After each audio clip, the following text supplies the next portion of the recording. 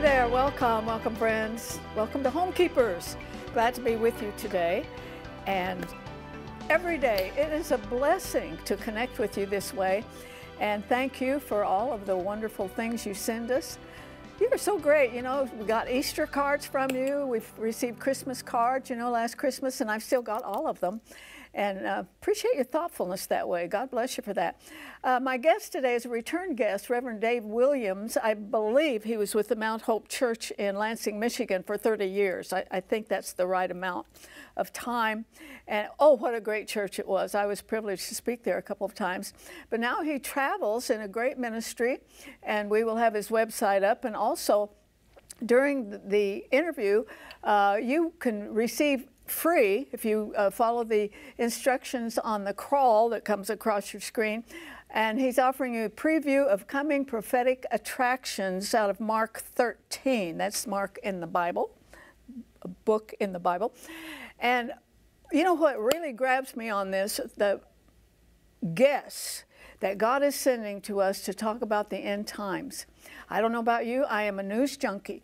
I watch a lot of news. People say they don't watch any, so you know, whatever is best for you. But I watch a lot, and I'm telling you, it's saying every day on television, if you still get a newspaper, in the newspaper, wherever you get your news, Jesus is coming.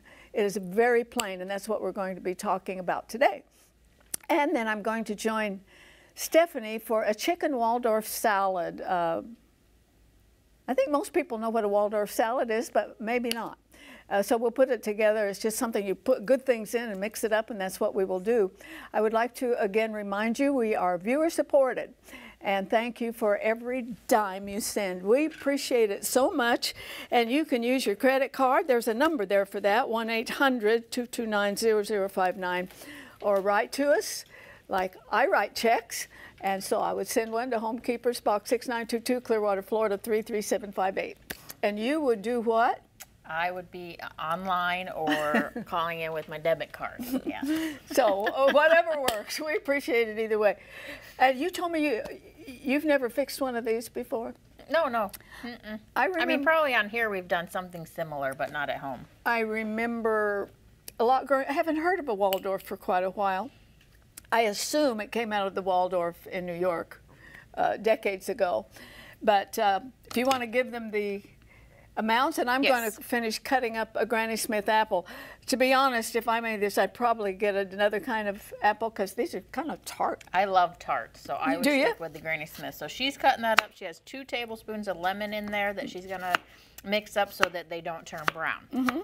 I have two cups of rotisserie chicken. This is a great recipe for either rotisserie chicken or if you have leftover chicken from another meal mm -hmm. or if you cook on Sundays and make a whole bunch of meats. This, this is, is kind of noisy, isn't it? A little bit. So I have two stalks of celery that are chopped up nicely. I have a cup of seedless grapes, a half a cup of toasted walnuts, mm -hmm. two-third cups of mayo, and some salt and pepper.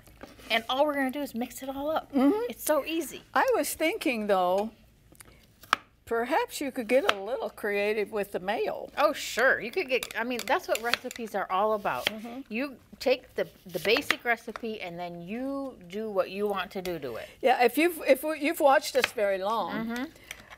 I don't like hot stuff. Mm -hmm. And she doesn't like uh, green peppers or any kind of pepper, right? Right, so we adjust to our likings. Yes, we yeah. do.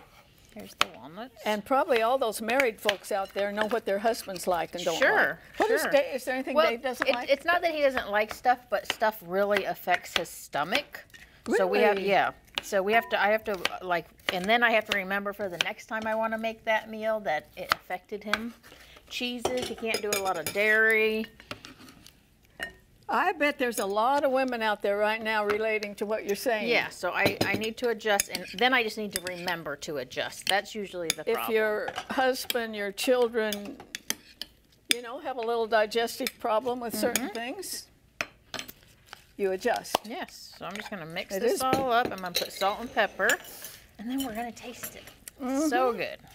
Let me go ahead and put a What about a lunch? Every time I, I wear this shirt, I say I'm not going to wear it the next time we cook because of the sleeves, and I wear it again when we cook. Um, if you're going to have a brunch, this. Oh my perfect. gosh! Have some ladies In over. Fact, I look mm. at this as a ladies' luncheon thing. Yes.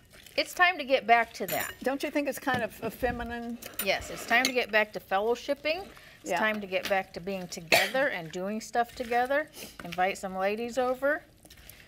And, uh, put your phone down. I think yes. if I had guests and they come in with a phone, I say, okay, like your kid's classroom. Yeah. We're going to put all the phones in, in a basket. Box. Yes. Yeah. Or if you go to a restaurant, it's fun too. Everyone yes. put their phone down. The first one that picks it up and plays with the phone has to pay for the meal. that was worth yeah, your turning yeah, in. Yeah, talk about um, not wanting to get on your phone. I, I, yeah. think, it's, I think it's disgusting. I'm yeah. sorry. Um, I remember I forgot my phone one day and uh, I survived. Yeah, well, I put it. it. on Facebook, and you can't believe the people who just well, wrote I in and said, so oh, disconnected. What if somebody needs me? What yes, if there's an emergency yes, yes. and I know not one phone number? So yeah, that's the bad part oh, about cell phones. Oh, that is good. Oh, that's my lunch. That is delicious. And to all you beautiful camera people, and so it could easy. be your lunch too. Well, I'll take okay. this. No. I don't want you to miss one word that Dave Williams has to say. I am so interested in the end times. Don't you believe the Lord is coming? It's it's yeah. just there. And so we're going to talk about that. And when you dig into it, the disciples said, What will be the sign of your coming? That's it. Okay, if you want this recipe, that information is coming up on your screen. Use it and we'll get it right out to you. Stay with us. If you would like a copy of today's recipe, you may receive it by contacting us through social media as listed on the screen. When requesting a copy through the mail, be sure to include a self addressed stamped envelope. Thank you, and please know we always appreciate hearing from our viewers.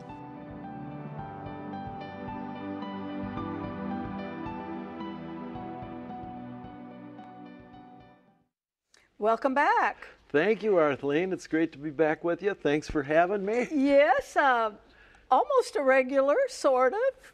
You come down when it gets cold in Michigan. And I do. Yes. And it's always wise. great being with you. You know why? Because you are a straight shooter. You oh. don't put up with nonsense.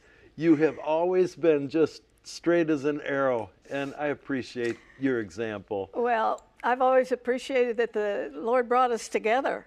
We've had ministry together several times. Yes, we have. And it's always been really good. I still remember the time at uh, Mount Hope Church in Lansing uh-huh. where I pastored, and you were talking about health issues. Uh-huh. And you said something about pork.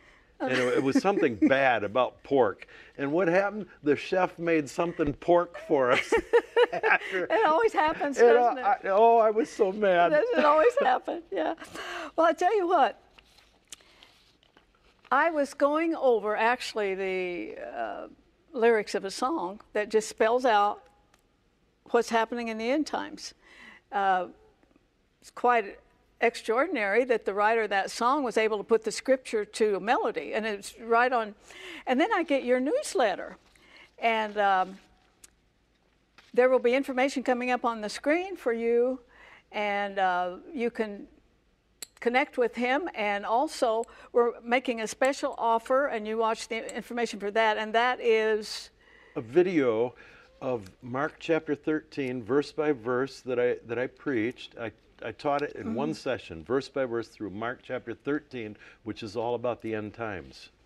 And you watch that will be coming up uh, in a crawl fashion, so you can write it down. But I've been so intrigued and to think that when I was younger, a little girl growing up in a preacher's home, we sing about heaven and a lot of pre- preaching about heaven more then than now, and we're that close to it now. We need a little bit more teaching. So, from you're right on scripture here, and I want to go over each bullet point here. Uh, that deception will run rampant. Hello. oh. You ever oh. watch the politicians? Arthelene, and this doesn't mean just religious deception, but political deception, social deception, financial deception. Remember Bernie Madoff and mm-hmm. some of the Ponzi schemes, even many Christian ministries that got involved in mm-hmm. them because of deception.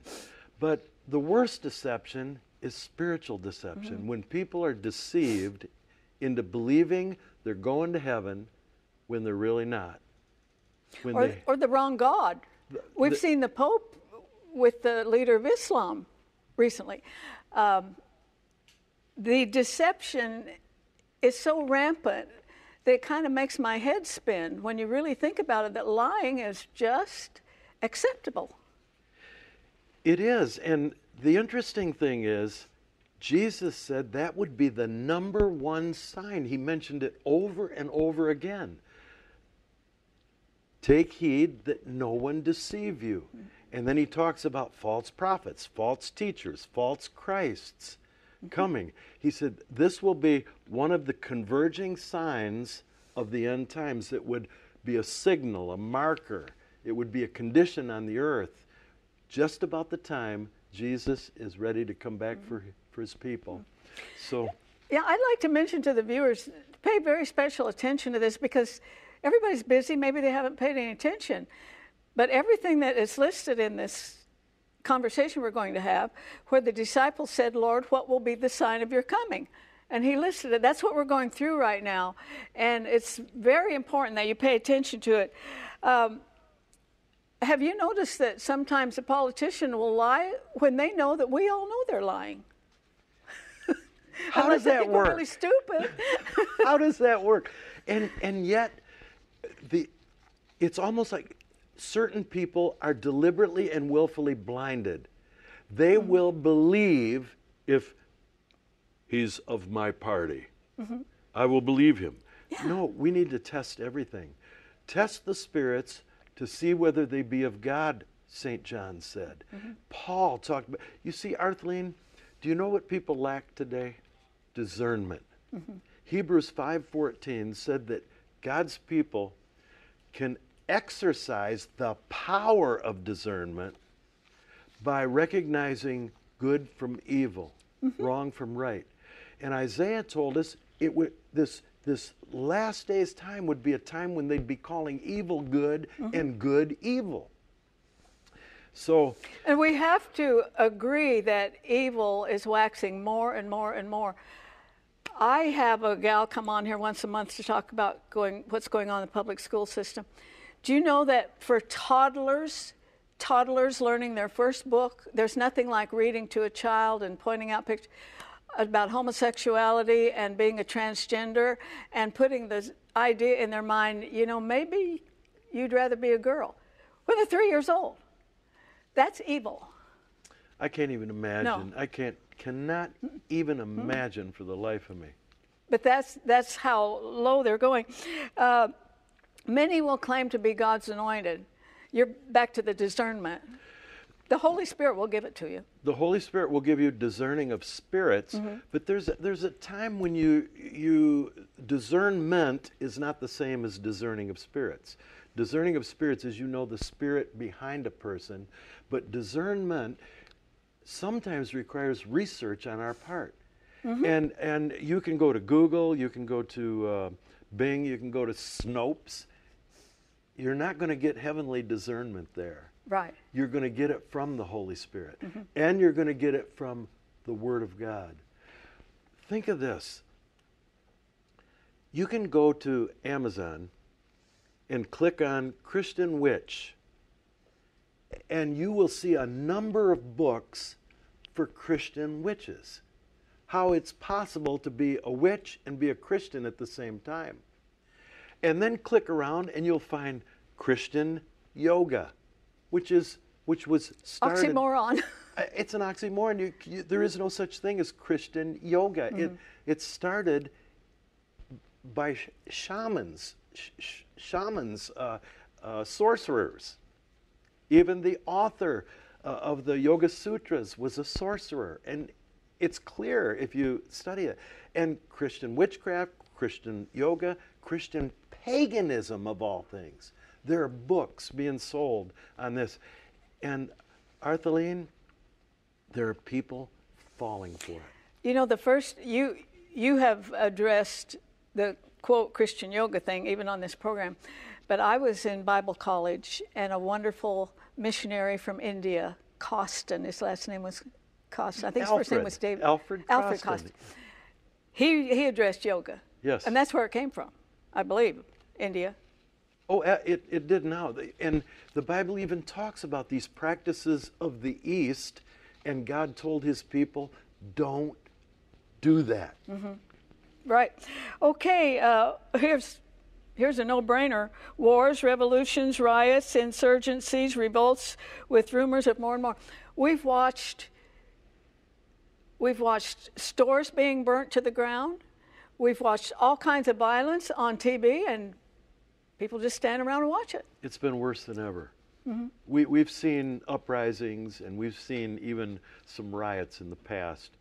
But what we've seen in the past two years, I've never, never heard of anything quite like that. Mm-hmm. It's, uh, it's happening even here in the United States. We see things happening in other countries. I don't know if you know Bill Salus. He is one of the most amazing researchers I've, I've ever known. Mm-hmm. And he wrote a book on Psalm 83. And Psalm 83 talks about 10 groups, not nations, but 10 groups that are around Israel. And it talks about a war. Every location that the prophet talked about is a location of Hamas, Hezbollah, Oh my goodness. Eight other terrorist groups, the exact pinpoint location. And then Israel gets tired of it. And Israel takes action and mm-hmm. does away with these 10 terrorist headquarter locations that are listed in Psalm 83. And kind of gives you goosebumps, doesn't I it? I know it.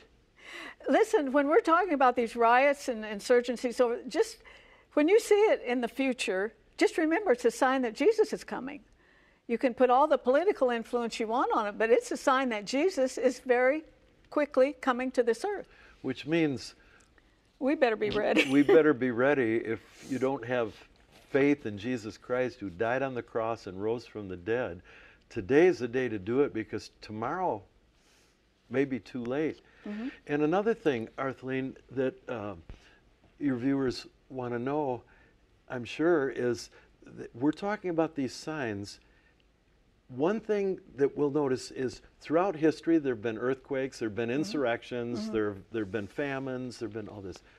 But Jesus said, when you see uh, all, all these things come to pass, when you see mm-hmm. all these things begin to happen, mm-hmm. you know that summer's near, that uh, Jesus is coming, it's just at the door. So when all of them are converging together, when simultaneously, uh, rather yes. than sequentially, mm-hmm. simultaneously coming together. We're seeing all these signs spoken of in Matthew 24, Mark 13, Luke 21, right now leading to a, a, grand delusion. It's very exciting, too. It is exciting. If you're a believer, it's exciting. Now, here, here's one that's on the front of your paper every day if you still take a newspaper, but it's certainly on the news. Ethnic wars, earthquakes, epidemics, pandemics, and pestilence. You know, I always thought that California had earthquakes and I'm thankful. My sister lives there, and we say, well, I said, I'd rather have a hurricane because we know where they are. I said, the earthquake just, Florida had a little earthquake. There was one in Oklahoma not too long ago. Yes, that's right. That's right. They, in my, and I'm a kind of a news junkie, that was new to me. And who would figure they'd find a fault line right down the middle of America? A, a big, a big mm-hmm. fault mm-hmm. line. So I mean, that one that one got my attention, but the ethnic wars, there's a new one every day, isn't Rwanda, there? Kosovo, uh, in Russia, there was ethnic cleansing. Do you know ethnic cleansing is relatively a new word? Is that right? It, it, just yeah. in the past, uh, since uh, World War II, the, the Holocaust, Hitler tried an ethnic cleansing. Six million Jews a quarter of a million gypsies, a quarter of a million homosexuals went to concentration camps and lost their lives in what they called the final solution. Mm-hmm. That was ethnic cleansing. Ethnic cleansing, that's very descriptive. Yugosl- former Yugoslavia. Mm-hmm. Mm-hmm. Uh, Christian persecution, I believe that most American Christians have no clue the persecution that's going on around the world. They're being killed in Nigeria for being a Christian on a regular basis. And get ready, Christians. There's always, you already see these signs of messing with the Bible and doing this and this and this. And I've had, I've had great questions about closing down a church in a pandemic. Now, don't get after me, that's just being honest. And I was real thankful for those pastors that said, not closing. Right. I and was real won. proud of them. And won. Mm-hmm. Yes, they all won. They all won. Mm-hmm. Yeah, you got to be really proud of them. Mm-hmm. Uh, there's a couple things that discouraged me, and that is I'd like to see a whole lot more Holy Ghost conviction, and that's got to come from the pulpit on dealing with sin. The sin in your, that's where that's got to come from. And the other thing, I'm wondering if anybody like 40 and under really got uh, American history in school. They've been taking that out. Do they know the Constitution? Oh, Those pastors no. might not know that they don't have to close their church. Right. That's a very good there's, point. There's, a, there's yeah. a couple things there. That's why you got to stay on top of what's happening in your public schools. Because, you know, if you take your kids out, take enough of them out, they're going to have to bend because every kid that goes out, they lose money. Right. And I, I saw that happen in Washington State, I think. Some bizarre thing about uh, homosexuals or something, and the the the student the uh, parent said, "Uh-uh." About 600 kids were taken out, and they're back in now. Good for them. yeah, yeah. Good for them. Um, this is something uh, to really address. Hopefully, anybody in this situation will recognize themselves, and that's the apostasy. The I I don't really believe that anymore. You know, I don't I don't believe in Jesus anymore. Just, or I don't believe in Jesus the way the Bible. They, will take in in some uh, there's some Hindu writings. They say Jesus is a god, and uh, he came between the ages of 18 and 30. He came to India. He learned the Yoga Sutras and then he went back to Israel to train his disciples in yoga. Now, that's a different Jesus. Uh, the Muslims believe in Jesus and they love Jesus, but it's a different Jesus mm-hmm. than the Bible. And Paul said there, w- there would be different spirits, different Jesuses. We got to have the right Jesus, mm-hmm. the one who was the eternal Son of God, born of the Virgin Mary you know, conceived of the Holy mm-hmm. Spirit, the one who lived a sinless life, performed miracles, the one who was the true Messiah, the only way to heaven. Mm-hmm. We got to have the right Jesus. He wasn't a God, he is God. Yeah, and Satan is going to bring up the counterfeit. And yeah. and if you don't know the scripture and you don't understand the power of the Holy Spirit, you can be so deceived you can be as innocent as you can be and absolutely be deceived. I, um, I was talking to one pastor the other day because I'm involved in every kind of denomination there is, sure. and uh, I've worked in them. Uh, but I appreciate my Pentecostal heritage because of the emphasis on the Holy Spirit. Uh, I think there needs to be an emphasis on that. He's in the world today with us.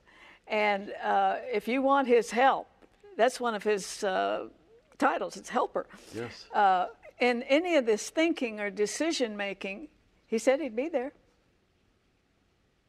He promised. He promised. And these things, when I read them in your newsletter, they startled me because I knew God was doing something to bring this to the forefront right now.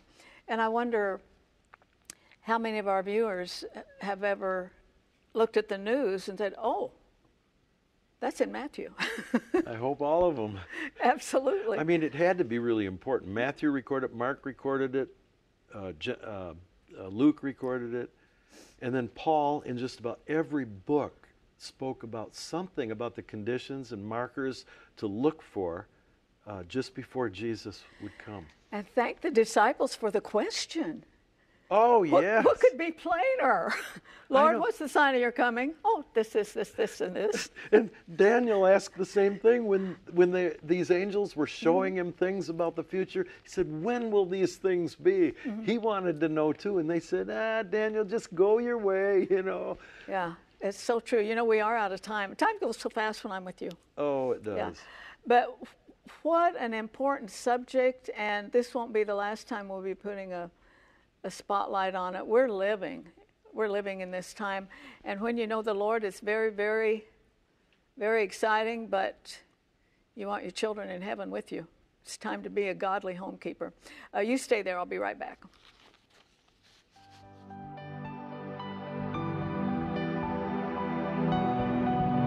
Arthelene would like you to keep the following information handy. You may contact Homekeepers by writing to Homekeepers, P.O. Box 6922, Clearwater, Florida 33758, or go to www.rippy.org.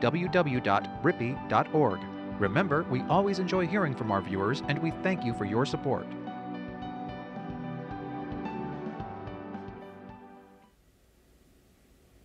I would like to again uh, thank you and remind you that we are viewer supported and we appreciate so much your participation in Homekeepers. That address and phone number are on your screen right now. And thank you absolutely from all of us here, the crew, everybody at the Christian Television Network. We certainly do appreciate it. I think that you can't watch the news today if you do know anything about end times from the scripture how could we deny that our nation, in a very short amount of time, is spiraling out of control? It seems like it's happened overnight, but then I had to think about it that this building, this foundation of lawlessness and violence and turning away from God. I read recently that church membership is less than 50%.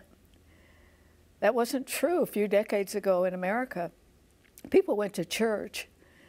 And these should be very sobering, sobering times. In the very near future, we're going to have a lot more to say about the end times. And I know that that really makes you want to be sure that your family is with you in heaven. So you pray for them, you teach them, you keep them in church. And please remember that we have prayer partners standing by right now to pray with you, to lift your heavy burdens, they're there. And ask, let me ask you to join me again next time, remembering there's no higher calling than that of a homekeeper. God bless you. If you should miss a Homekeepers program, you can catch up by going to www.ctnonline.com. Click on CTN programs and then on Homekeepers.